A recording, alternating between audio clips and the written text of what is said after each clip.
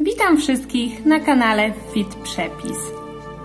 Wszystkich nowych gości zapraszam do subskrybowania mojego kanału, żeby być na bieżąco z moimi propozycjami odchudzonych dań. W dniu dzisiejszym zapraszam Was na zupę krem ze świeżych, zielonych szparagów, podaną z serem feta oraz groszkiem ptysiowym. Gotowaną bez dodatku mięsa, lekką i pyszną. Do wykonania zupki potrzebujemy 3 pęczki świeżych zielonych szparagów, dwie marchewki, pora, kilka łodyg selera naciowego, 2-3 ząbki czosnku, papryczkę chili oraz puszkę mleczka kokosowego, najlepiej w wersji light. A także pieprz i sól do smaku. Zaczynamy od pokrojenia czosnku w drobne plasterki, pokrojenia papryczki chili w drobne paseczki, pokrojenia łodyg selera naciowego również w drobne paseczki. Liście od łodyg selera zostawiamy sobie na później. Również myjemy, obieramy marchewkę i kroimy ją w plasterki. A także białą część pora kroimy w cienkie plasterki. Następnie zabieramy się za głównego bohatera tego dania, czyli szparagi. Na wstępie chciałabym Wam powiedzieć, że jak yy, wybieramy szparagi przed kupnem, należy wybierać te pęczki, gdzie szparagi są takie wąziutkie, chudziutkie, bo znaczy to, że są one świeże i młode i nie są mójkowate, są po prostu smaczniejsze. Ja niestety jak byłam w sklepie, były ostatnie trzy pęczki szparagów, w tym jeden był taki właśnie takich chudziutkich, młodziutkich, a dwa były już takich niestety grubszych. O, widzicie jaka jest różnica tak naprawdę, więc te grubsze są trochę starsze, one mają dużo więcej tej zdrewniałej końcówki, którą zaraz będziemy y, odrywać, a te są praktycznie całe do spożycia. Dobrze, bierzemy się za szparagi. Co robimy ze szparagami? Każdego szparaga oglądamy, w jakim jest stanie. Następnie, szparagi są takie bardzo sprężyste, więc następnie przełamujemy je. To miejsce przełamania szparag pokazuje nam sam. w tym miejscu przełamania, jak przełamiemy szparag, tu jest ta zdrewniała końcówka, którą wyrzucamy. Szparaga odkładamy i tak po kolei łamiemy każdego następnego szparaga. Czym on jest grubszy, tamto miejsce przełamania niestety, ale jest dalej. O, tak jak widzicie, tutaj był tylko kawałeczek, a tutaj już był ten szparek trochę grubszy, więc już więcej trzeba było tej końcówki złamać. Tak samo tutaj, widzicie, mamy takiego grubego szparaga, więc on się łamie praktycznie w połowie. Ale to nic. No i tak każdego szparaga sobie odłamujemy, odkładamy go na bok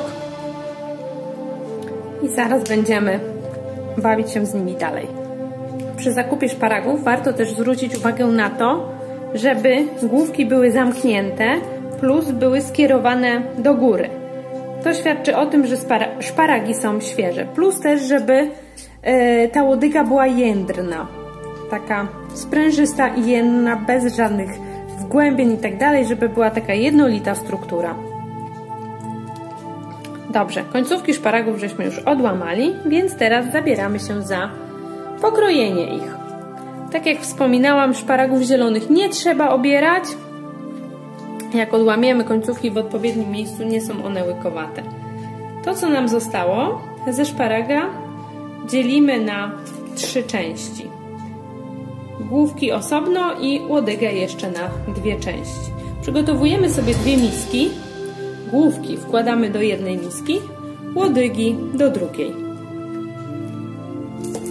Główki do jednej, łodygi do drugiej.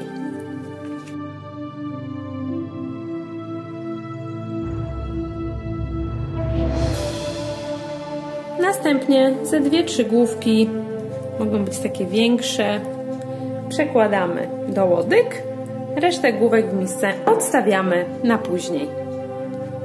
W dość wysokim garnku rozgrzewamy oliwę z oliwek.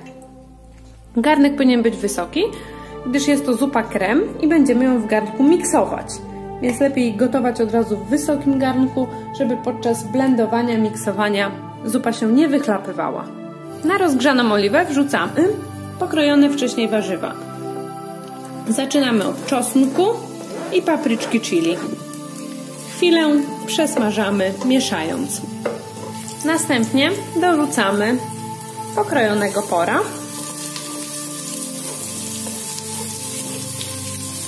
Również mieszamy i chwilę przesmażamy. Następnie dorzucamy selera naciowego. Również chwilę mieszamy i przesmażamy. Następnie dorzucamy marchewkę, którą również chwilkę przesmażamy, ciągle mieszając z pozostałymi warzywami. Na koniec dorzucamy łodygi szparagów pokrojone i również wszystko mieszamy i chwileczkę przesmażamy.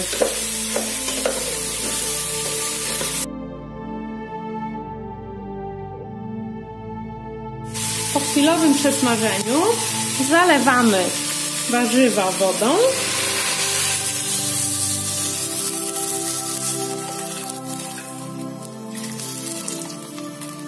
Dorzucamy liście selera naciowego. Następnie dorzucamy dwa listki laurowe, kilka ziarenek czarnego pieprzu oraz kilka ziarenek ziela angielskiego. Wszystko razem mieszamy i przykrywamy, a następnie gotujemy do miękkości warzyw około 20 minut. W międzyczasie, jak zupka się gotuje, przygotujemy główki szparagów. Główki przekładamy do naczynia żaroodpornego.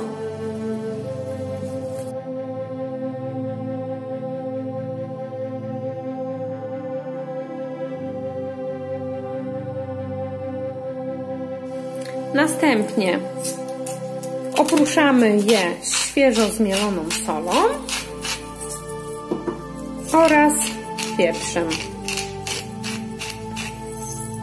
A także skrapiamy delikatnie oliwą z oliwek, po czym mieszamy w naczyniu, żeby oliwa, pieprz i sól pokryły ładnie każdą główkę. Tak przygotowane główki szparagów odstawiamy na chwileczkę. Po czym główki szparagów wkładamy do piekarnika nagrzanego do 180 stopni i pieczemy około 15 minut. Gdy warzywa w zupie już zmiękną, staramy się wyłowić z niej ziarenka ziela angielskiego ziarenka pieprzu, tak żeby tego nie miksować. Przynajmniej ja nie za bardzo lubię takie zmiksowane cząsteczki. Plus, jeżeli znajdziemy, możemy wyłowić również yy, liście laurowe. O, akurat jest. Jak dobrze pamiętamy, ile ich daliśmy, to możemy pobawić się w szukanie i je na spokojnie wyłowić. Ja dałam dwa, znalazłam dwa, więc jest ok. Wyłowię jeszcze trochę tych pływających ziarenek pieprzu. O. Warzywa nam bardzo ładnie zmiękły,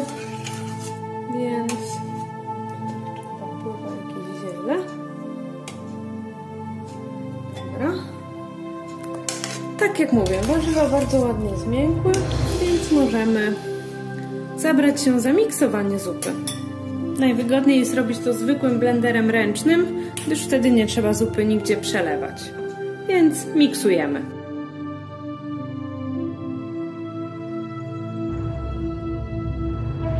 Po zmiksowaniu zupę doprawiamy solą.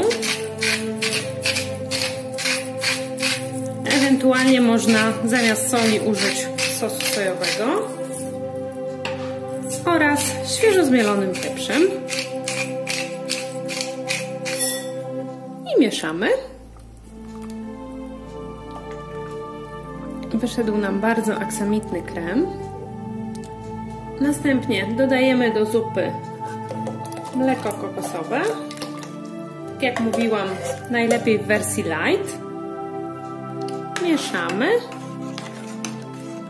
I chwilkę jeszcze podgotowujemy na bardzo małym ogniu, na najniższym w zasadzie.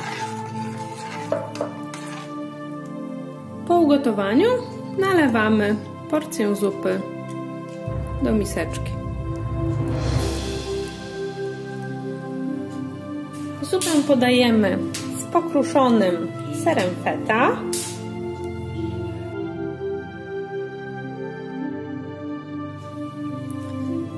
Lekko podprażonymi pestkami dyni i słonecznika.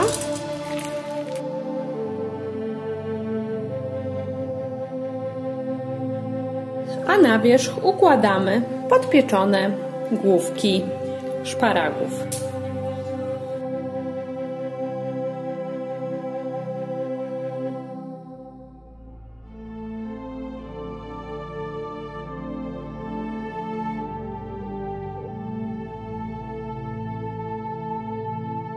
Wokół obsypujemy jeszcze groszkiem ptysiowym. Ewentualnie można obsypać również grzankami.